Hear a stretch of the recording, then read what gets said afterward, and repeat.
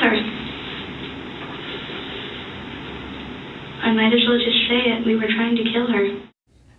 Morgan Geyser explained why she and Anissa Weier stabbed their sixth grade classmate after a sleepover. She said they feared a fictional internet ghoul, Slender Man, they believed was real. The victim, Payton Leutner, survived 19 stab wounds. The now teen suspects will stand trial as adults. Tonight, Morgan's mother tells Nick Bohr how she's fighting for her daughter.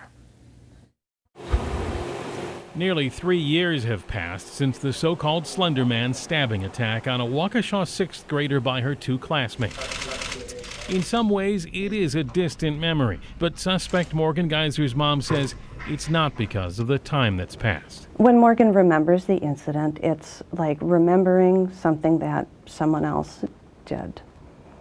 She wasn't, um, she wasn't in control of her brain at the time of the event. Um, and she's, she said that it's like remembering someone else's memories. Morgan was diagnosed with schizophrenia a few months after the assault. Her mom, Angie, is convinced the illness was responsible for the stabbing of Morgan's friend, Payton Leutner. That wasn't Morgan who did that. This, um, this wouldn't have happened if not for Morgan's untreated mental illness. It never occurred to you that she was dangerous. No, of course not. No, I mean, if we had had any indication that Morgan had a serious mental illness, we would have gotten her treatment sooner. But unfortunately, no, we didn't know until after after the incident. Angie Geyser later learned that disturbing drawings were found hidden in Morgan's room and tells me she's asked Morgan why she hid them. Her standard answer when I ask her why she didn't tell us about things is because we would have done something about it. So why didn't you tell us you were afraid of Slender Man? Because you would have done something about it. Why didn't you tell us you were hearing voices? Because you would have done something about it. The Geysers shared these recent photos of Morgan at the Secure State Mental Hospital, where they visit several times a week. They had to fight to get her placed there after she spiraled in juvenile detention. She deteriorated pretty seriously and um, she self harmed and ended up on uh, suicide watch.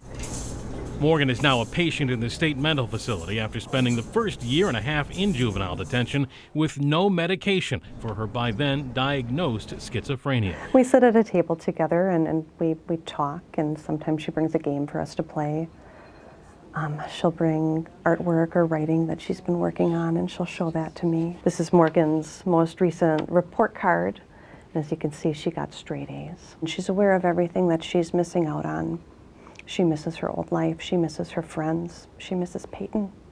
Does she ever talk about Slender Man or anything like that? No, no, no, that doesn't come up. Angie Geyser reveals she's had absolutely no contact with the victim, Payton, or her parents since the day of the attack. If you could say anything to them, I mean, have you? Th- I must have thought about that many times. What you might say, and I'm just, I'm so sorry for what she went through. I'm so sorry for what Payton went through. Um, I would want them to know that Morgan is sorry too. Morgan has a lot of remorse for what happened. Her October trial will determine if Morgan's mental illness was responsible for the attack. Her mom can only hope the jury will find mental health treatment is more fitting than prison. I wouldn't be afraid to have her in our home. My goal is the same today as it was on, on day one, and, and that's to bring my daughter home. Nick, such a powerful interview and a part of the story that we, we haven't heard before. So why is she talking now?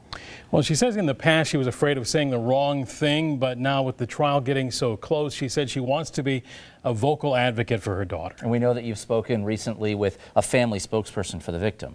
Right, and that spokesman says viewers really need to remember the seriousness of the crime, that it was premeditated, he says, and vicious.